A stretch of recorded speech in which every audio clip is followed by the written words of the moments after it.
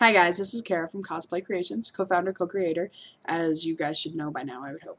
If you haven't already, like us on Facebook, follow us, see what we're doing, because I'm always posting new nerdy things that we're working on, probably to the point of distraction. Now, we do have a new embroidery machine, so we are working on things like patches and um, embroidered shirts. Check it out. I just finished this one. Mm. Okay. Yes, I like Harley.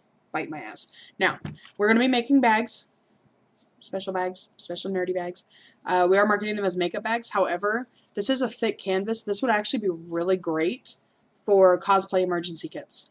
Okay, it's got more than enough room in there for your sewing supplies, any extra makeups, because I know, like, I do clowns. I always do really makeup heavy costumes.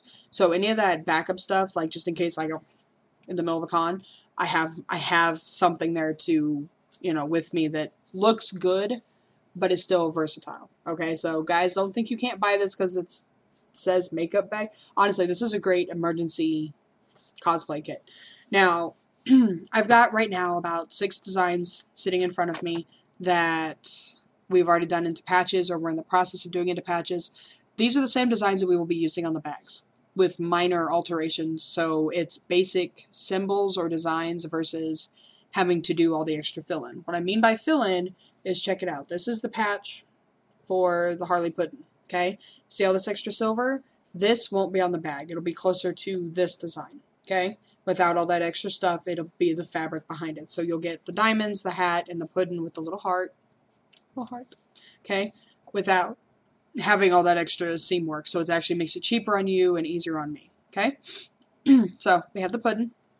For those of you who aren't paying attention, puddin. We've also got our horde symbol, which again isn't quite done yet. Okay, these turned out fantastic. I'm so happy that we finally figured out what the issue was. Now we do have some that were part of our uh, learning experience. So these ones are actually on sale right now for $3 a piece because they will be much higher for the final finished product, but there's minor issues with each of these. So check it out. There we go. We have the Alliance, we have Pikachu, and we have The Nightmare Before Christmas, okay? We've also got a couple of Sailor Moons. I've actually got two Sailor Moons and two Pikachus, but we've got one of each of these, okay?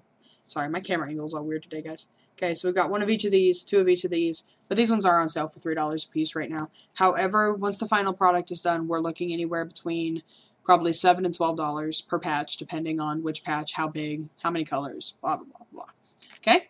So, um, depending on which design you get on the bag is depending on the price. We will have the prices set and everything up for sale here in the next couple of days, probably.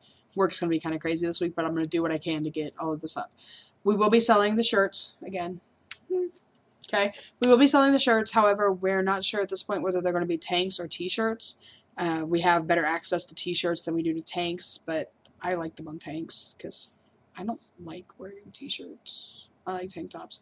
Anyway, so we will let you know. Right now, we're working on camis. We're working on the rib tanks. We're probably going to be working on some t-shirts here soon for the guys with probably not Puddin. I'm going to assume it's probably going to be like Horde and Alliance and possibly Pikachu because I live with grown babies. That's about how that works. So, we are going to be doing the t-shirts. We're, we're doing our best to get a good price on the t-shirts and tanks so that way we can get you guys the best price possible. Speaking of prices, our price has increased on shipping. Unfortunately, there's nothing I can do about it.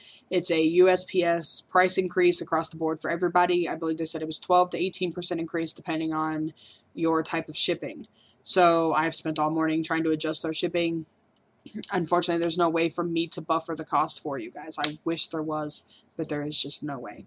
So just as a heads up, and I believe the increase is on Monday. And if that's the case, then you guys have two days to get your orders in before price increases on shipping. And I will be very upset if you order like a mallet and uh, I can't have the shipping label printed out before Monday. So don't expect that. anyway, now, sorry guys, I've been sick. Like everyone in this house has been sick. I know I sound like a frog we are working on a steampunk Ivy costume. I don't know if you guys can see it besides. Here.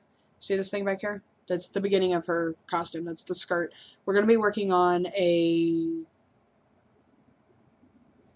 brown peasant shirt with some green floral embroidery on it, as well as a green satin underbust corset. Sorry, guys. So, uh, green underbust corset that's in a, a costume satin with embroidery on it as well. And there will be matching bracer type things like the Harley ones that we have, probably lace up ones with embroidery on them. I know we're going embroidery crazy. We're super excited. And a pair of matching spats to go with the armbands. Okay? So these will all be things that we will be, be selling as soon as we get them finished. However, the skirt, we happen to find the base for that skirt like really cheap at like an outlet store. So until we tear it apart and make a pattern for it, the skirt is off the schedule for now. However, you'll be able to get the rest of the costume for the most part from us. Nice. Now, I think that's a bit about it. Ooh, sorry guys, I can't talk today. I haven't done this in so long, I don't know what I'm doing anymore. Um, I think I mentioned we're going to be setting up at CosmoCon. I am hoping to do a couple of panels. So for those of you who are interested in getting into cosplay or have questions and stuff like that, feel free to come up to me when this event starts and ask questions. Like, I'll be there, my partner will be there, both of the large and small minions will likely be there. So I have every intention of being able to answer as many questions as humanly possible when it comes to cosplay. We are working on trying to see if we can volunteer to do a couple of panels, including the how-to guide on large prop building or, you know, large prop building 101 for cosplayers because we do large. It's our thing. Um, as well as some of the do's and don'ts of cosplay. So hopefully we can make that happen. I am so excited to actually be finally setting up a booth. We've been at this for a while, guys. So I'm going to get off of here with you guys so I can get back to work because I've got a shirt sitting on my embroidery machine, like staring at me because I haven't done anything with it in a while. And get back to some patches and get some work done. But we will have some of the stuff up for sale in the next couple of days. So that way you guys can uh, be awesome and, you know, love us and buy stuff. Ah, buy stuff. Alright, guys. We'll see you later. Now, as always, have fun, cosplay, be you, be special. Okay?